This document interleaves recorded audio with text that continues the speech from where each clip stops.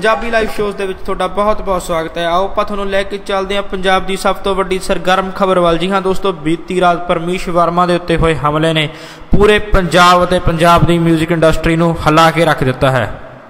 ਪੰਜਾਬ ਦੇ ਸਾਰੇ ਗਾਇਕਾਂ ਨੂੰ ਦੁਵਿਧਾ ਵਿੱਚ ਪਾਉਣ ਵਾਲੇ ਗੈਂਗਸਟਰ ਦਿਲਪ੍ਰੀਤ ਬਾਬਾ ਦਾ ਵੀ ਕੋਈ ਖਾਸ ਬਿਆਨ ਨਹੀਂ ਆਇਆ ਹੈ। ਜੀ ਹਾਂ ਦੋਸਤੋ, ਉਹਨਾਂ ਨੇ ਸਿਰਫ ਫੇਸਬੁੱਕ ਉੱਤੇ ਪੋਸਟ ਪਾ ਕੇ ਦੱਸਿਆ ਕਿ ਇਹ ਹਮਲਾ ਉਸਨੇ ਆਪ ਕੀਤਾ ਹੈ ਤੇ ਉਸਨੇ ਸਪਸ਼ਟੀਕਰਨ ਦਿੱਤਾ ਹੈ ਕਿ ਇਹ ਹਮਲਾ ਪਰਮੇਸ਼ ਵਰਮਾ ਦੇ ਉੱਤੇ ਤਾਂ ਕੀਤਾ ਹੈ ਕਿ ਉਹਨਾਂ ਨਾਲ ਉਹਨਾਂ ਦੀ ਕੋਈ ਪੁਰਾਣੀ ਰੰਜਿਸ਼ ਸੀ ਤੇ ਇਹ ਰੰਜਿਸ਼ ਦਾ ਵੀ ਕੋਈ ਖਾਸ ਕਾਰਨ ਬਾਹਰ ਨਿਕਲ ਕੇ ਨਹੀਂ ਆਇਆ ਤੇ ਪੁਲਿਸ ਨੇ ਵੀ ਇਸ ਦੀ ਕੋਈ ਖਾਸ ਰਿਪੋਰਟ ਨਹੀਂ ਦਿੱਤੀ।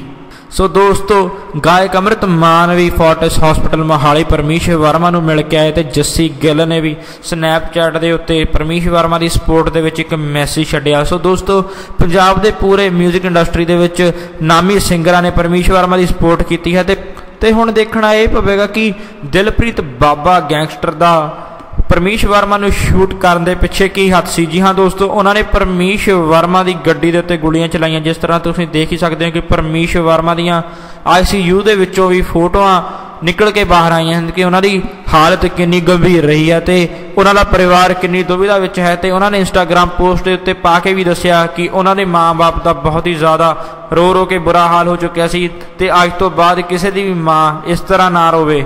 ਸੋ ਦੋਸਤੋ, ਹੁਣ ਦੇਖਣਾ ਇਹ ਪਵੇਗਾ ਕਿ ਦਿਲਪ੍ਰੀਤ ਬਾਬਾ ਗੈਂਗ ਦਾ ਅਗਲਾ ਸਟੈਪ ਕੀ ਹੈ ਤੇ ਉਸ ਤੋਂ ਬਾਅਦ ਉਹ ਅਗਲਾ ਸਟੈਪ ਕੀ ਚੱਕਦੇ ਹਨ ਤੇ ਪੁਲਿਸ ਆਪਣਾ ਕਿਰਦਾਰ ਕਿਸ ਤਰ੍ਹਾਂ ਅਦਾ ਕਰਦੀ ਹੈ। ਸੋ ਦੋਸਤੋ, ਤੁਸੀਂ ਜੁੜੇ ਰਹੋ ਸਾਡੇ ਚੈਨਲ ਪੰਜਾਬੀ ਲਾਈਵ ਸ਼ੋਜ਼ ਦੇ ਨਾਲ। ਬੈਲ ਆਈਕਨ ਨੂੰ ਜ਼ਰੂਰ ਕਲਿੱਕ ਕਰ ਦਿਓ ਤਾਂ ਕਿ ਤੁਸੀਂ ਦੇਖਦੇ ਰਹੋ ਹਰ ਅਪਡੇਟ ਸਭ ਤੋਂ ਪਹਿਲਾਂ